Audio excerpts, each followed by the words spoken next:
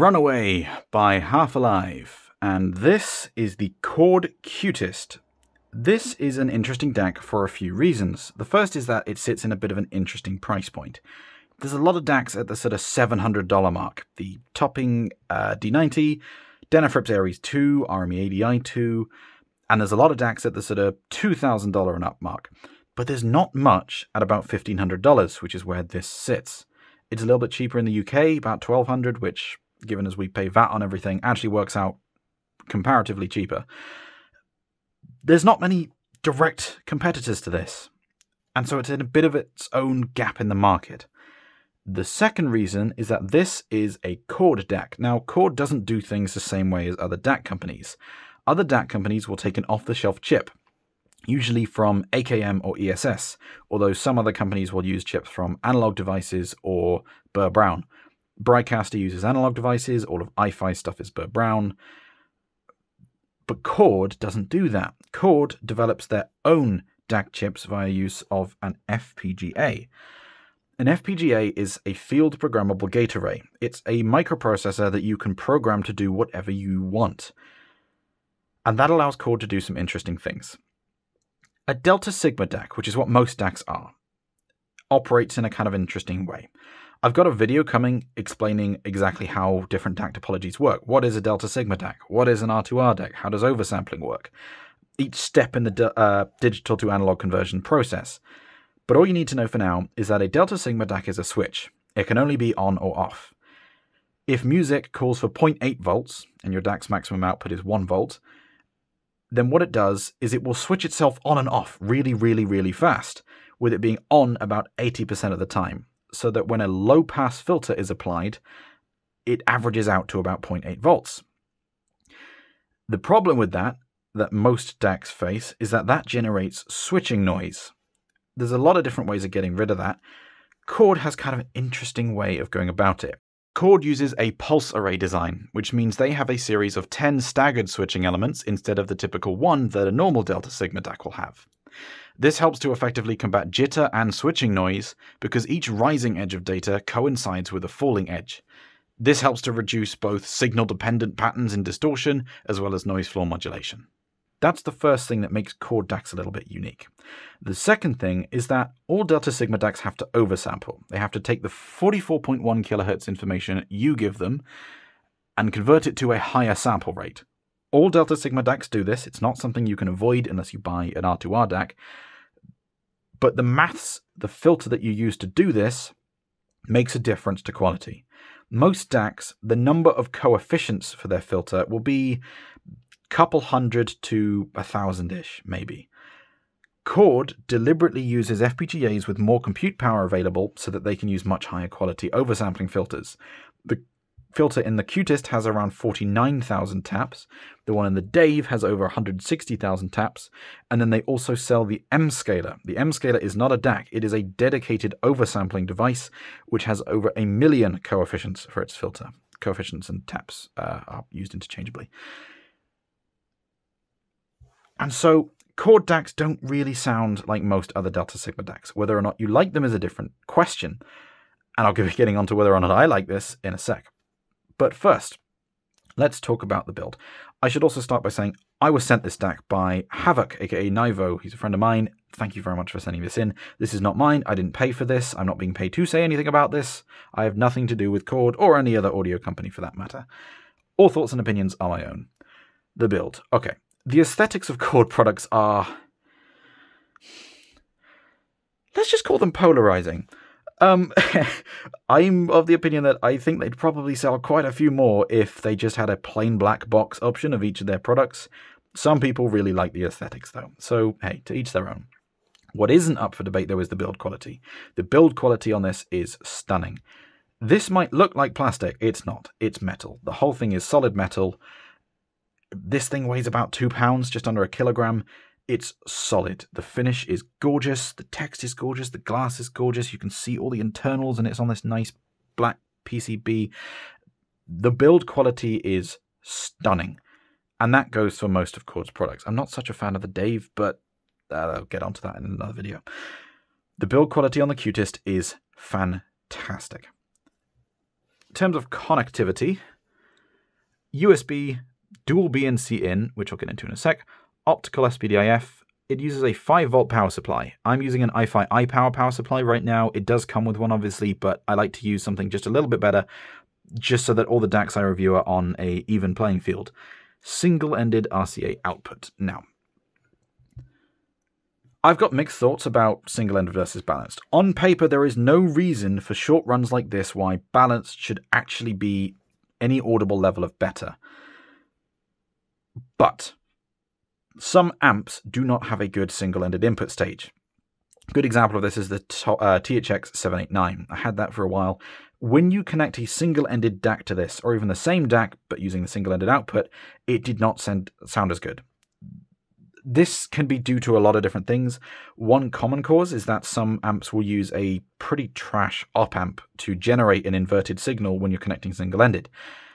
And that can degrade quality. So sometimes single ended can be worse, but it's not because of this DAC. The output from this DAC is fantastic, and if you use an amp which has a good single ended input stage or a dedicated single amp, uh, single ended amp, you won't have any problems. It sounds fantastic on my setup, but some amps like the 789 it might be problematic. I've been using it USB. USB through my SMS200 Ultra. That's my streamer that I use for most DAC reviews because that's how most people are going to be using it. Most people are going to be using this USB just connected to their PC. It has galvanic isolation on the USB. Galvanic isolation means that it's electrically disconnected, which is nice because then no electrical noise from your beefy gaming PC, which is just about the worst device you could put in an audio chain, is going to affect the DAC in any way even if you can't hear noise outright, it can still have a negative effect on sound. And that's because there's a lot of other stuff in your DAC which, even if you can't hear noise, can be negatively impacted. Clocks being a good example. Clocks are voltage controlled oscillators. And so, if there are fluctuations in the voltage feeding them because it's connected to a really noisy PC, then it can degrade performance. Having galvanic isolation is really nice to see. I wish DACs, more DACs did that. Dual BNC. It's got regular SPDIF input. The dual BNC is so that you can connect it to an M scaler. Normal SPDIF goes up to about 192 kilohertz. Technically, you can do higher, but most DACs are limited to 192. To use the M scaler to get to the full 768 kHz, Chord developed the dual BNC protocol. That's unique to Chord DACs. You use two connections, and you can get full 768 kHz from an M scaler to your Qutest. I didn't use the M scaler for most of this review because that's not how most people are going to be using it. I'll talk about the combination of these two and how it compares to like a Dave on its own in a little bit. Most people are going to be wanting to know how does this DAC sound? I want to pay $1,500 for this DAC, not $5,000 for this package. How does the Qutest sound? And so I'm going to talk about that. The best word I can use to describe this DAC is refined. This is an exceptionally resolving, smooth without being laid back, and refined sounding DAC. It has a very interesting ability in that it can make bad masters sound a lot better than they actually are, and it can also smooth out certain types of flaws. It's incredibly difficult to make this DAC sound fatiguing. Good song for this. Do It All the Time by I Don't Know How But They Found Me. The vocals in this track are just a little bit sibilant on an ESS DAC, like a, a really aggressive, cheap one, this does not sound good. This sounds really, really bad, and it's pretty unbearable. On a smooth, unresolving DAC, it's listenable, but it's obviously not very detailed. This DAC does an excellent job of smoothing over the sibilants without losing detail.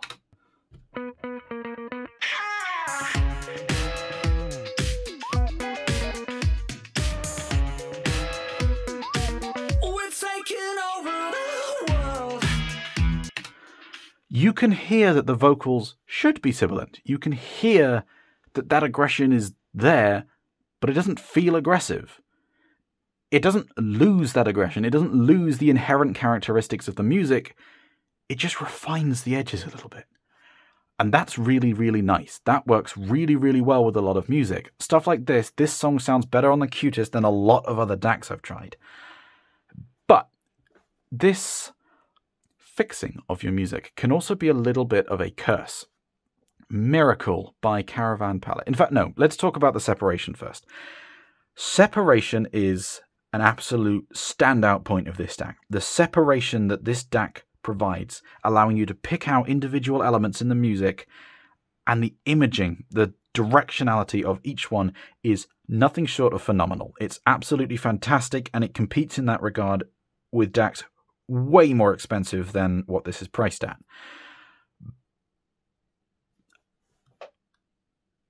Puma by Andrew Bird. Let's just go to 48 seconds in.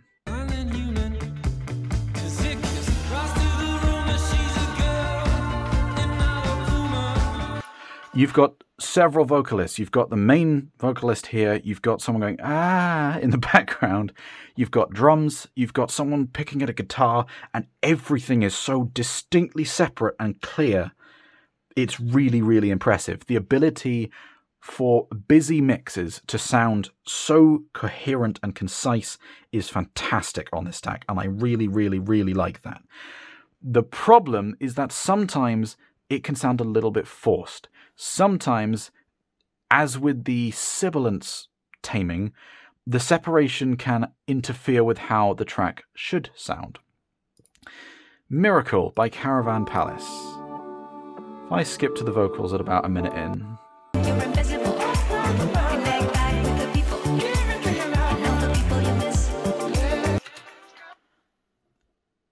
This track, the way that they've got the effect on the vocals, it almost sounds like there are two of them overlaid, even though there's not. On the Dave, it's fine. There is one vocalist in front of you. On the Qutest, it almost sounds like the Qutest is getting in the way and just trying to push those two phantom vocalists apart to separate them more. Even though they're not two vocalists, it's just one. The separation is, at times, just a touch artificial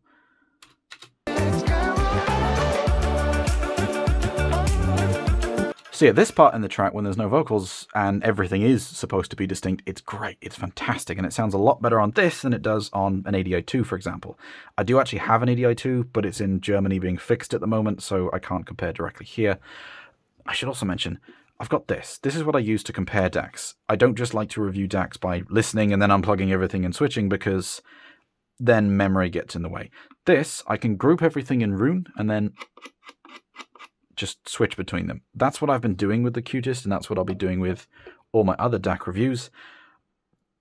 There are some things when you're listening to this, like the separation issue. It's not actually an issue if you're just listening to the Qutest. If you plug the Qutest in and you just listen to the Qutest, you won't notice that. You'll enjoy the fantastic separation it provides in a lot of music, and you'll think this is fantastic, which it is but you won't notice the problem like I did on that mix. The only reason I noticed that is because I was directly A being against another DAC. And so it's important to note that because I don't want to make something sound like a bigger problem than it is, because it's not actually a problem, it's just something I noticed. I'm reviewing this DAC, and so I need to point out the good stuff and the stuff which is either bad or just interesting. I mentioned the taming of sibilance. This DAC sounds phenomenal with classical and orchestral music. Howl's Moving Castle. Let's do Merry-Go-Round of Life. This track by the Grissini Project is beautiful.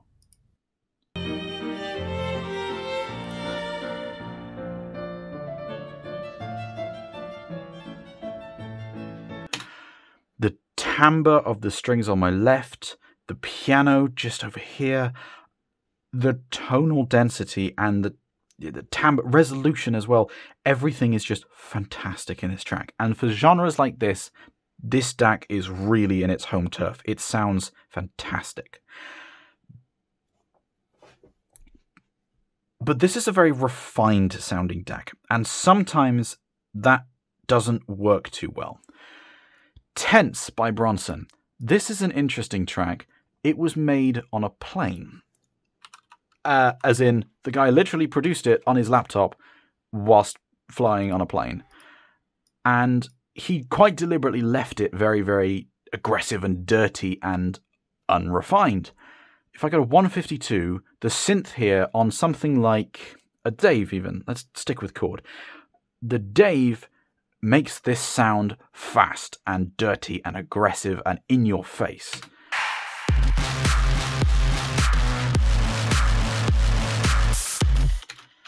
But the Qutest is trying a little bit too hard to fix the aggression. And as a result, you can hear that it's there, but you're not feeling that aggression. You're not feeling like the low end is punching you. You're not feeling like that synth is just a little bit edgy when it should be. This is the kind of DAC which, if it was a person, would be in a tweed jacket drinking tea, and you'd ask him if he wanted to go to a classical concert or a play or something. If you wanted to go to a disclosure concert or go dirt biking, you wouldn't take Mr. Q, you'd ask your mate Dave.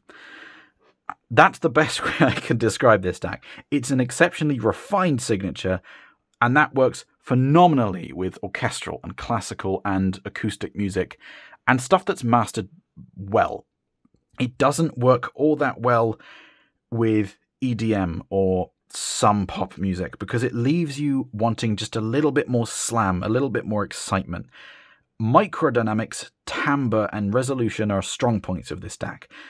Slam and macrodynamics, not so much. If we go Anthology by OVERWERK, I used this in my Blessing 2 review. If we just go to. Uh,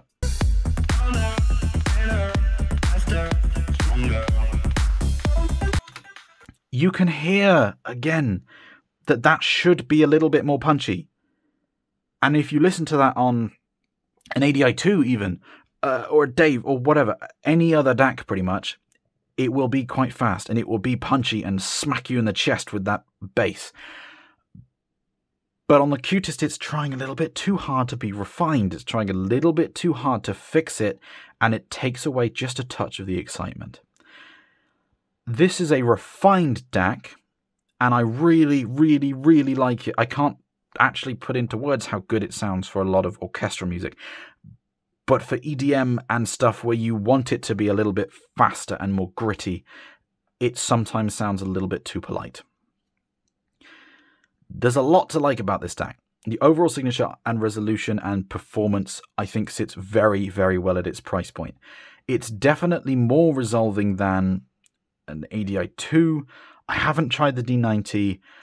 I think an Aries 2 versus this would be quite an interesting comparison. With Chord, you're paying a little bit more, not just for the performance, but for the build. This is a DAC that was designed and built in the UK. It's going to cost more than something that was made in China or Singapore or whatever. You are paying for the country of origin in some manners. And that's fine. That's something which a lot of people are happy to pay for. A lot of people will pay more for something that wasn't made in China. But at the same time, if something from China for $700 is matching this in performance for twice the cost, it's still something you have to keep in mind. So I think it sits very well at its price point. I think this would best an ADI 2 if you're ignoring the feature set. An Aries 2, I think, might be a good substitute for this if you're looking to spend less.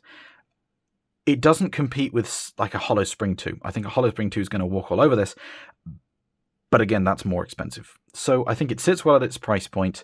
It's fantastic for orchestral. It's fantastic for classical. It's fantastic for most genres of acoustic music.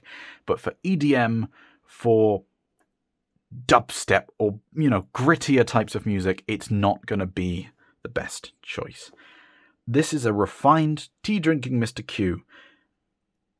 That is your mate Dave, who's got a Lamborghini and vapes and goes dirt biking, and yeah, it's it's a fantastic DAC, but it's a little bit coloured in a lovely way for certain genres, though. Let's talk about this. I've seen a few videos and a few questions about people talking, saying, should I get an M scaler for my Qutest? Will a M scaler and Qutest combo give me a Dave? The short answer to that is no. A Dave outresolves a Qutest and M scaler. It gives better staging, it gives better micro and macro dynamics, it's faster, it's this is a better DAC. Not by a small margin either. The Dave is a truly phenomenal DAC. But this is still a fucking good upgrade. Let's put back on In fact, let's do a different song. Let's do Best Behavior by Mansionette. I, no, no, let's do Eye for an Eye. Eye for an Eye by Bob Moses. This track for soundstage is fantastic. And what I'm going to do is, whilst I'm playing it, I'm going to switch between direct input, which I'm going uh, doing now, and then if I change that to blue, that means it's using dual BNC from the M scaler. So let's just get it back on USB.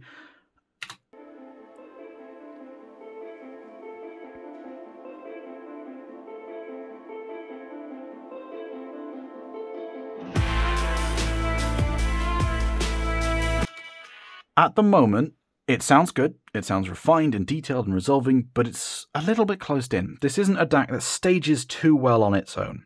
It's good, but it's not exceptional in that regard. The imaging, layering, and separation, though, do make up for that in quite a lot of respects. When I turn the M scaler on, though,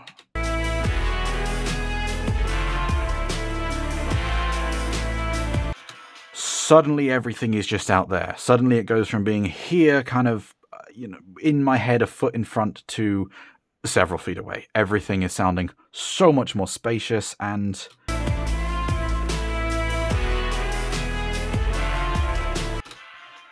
Just outright resolving. The resolving power and the space, the physical space between elements when you turn the M scaler on just goes up to 11 it is a really, really impressive DAC when you add an M scaler to it. With an M scaler, this is really sounding like a 2000 2500 even dollar DAC. And this versus like a Holo Spring 2 would probably be a close call. It's still not super fast in macrodynamics and slam. It does still lack that excitement a little bit, but the resolving power, the space and staging just goes up to 11 when you turn this on.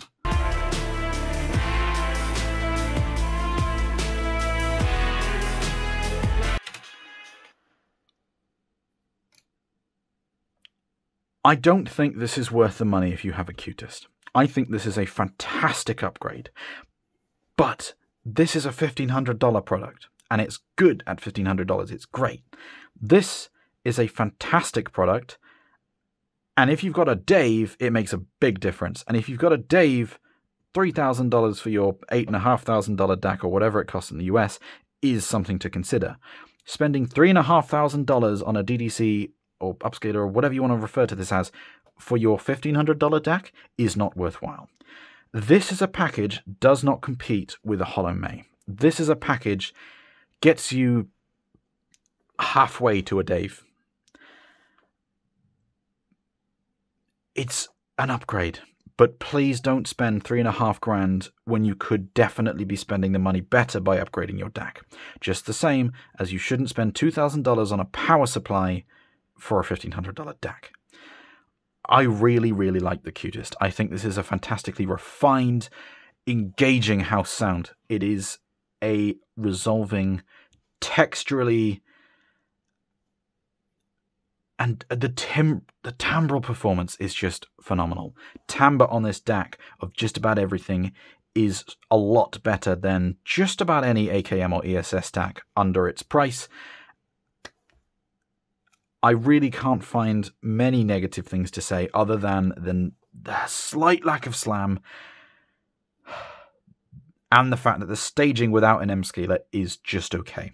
It's not bad. It's about the same as an ADI2. But a lot of people like that. A lot of people want a more intimate sound. A lot of people want a closer in, more. It's not. It's not that it's analytical. It's just that you can pick stuff out a little bit better if everything is closer to you. The separation, the warmth, the depth, and engaging sound this provides is great.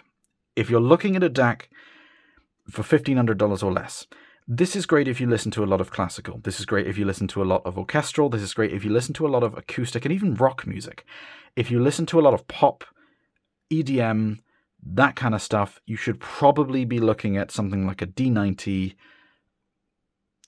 or an ADI2. ADI2 is great just because the feature set really does kick it up a notch, although if you've got Roon, then it's mostly redundant. I think the Chord Qutest is a fantastic product. The separation is great, but can feel forced. The resolution is just always good. This is a fantastic product. Hopefully, you found that review engaging and interesting. If you'd like to support me on Patreon, all the money that I get from that is going back into buying audio stuff. Everything I get and review will be then resold, so money goes a long way. If I buy something for a grand, resell it for 900, it's only cost me 100 quid. I've got reviews coming for the Dave, for the Holo May, AHB2, and a bunch of other stuff as well. So please do subscribe if you'd be interested in seeing that. Additionally, if you're a patron of mine, then you get a say in what stuff I purchase to review next. Thank you very much for watching. I hope you enjoyed.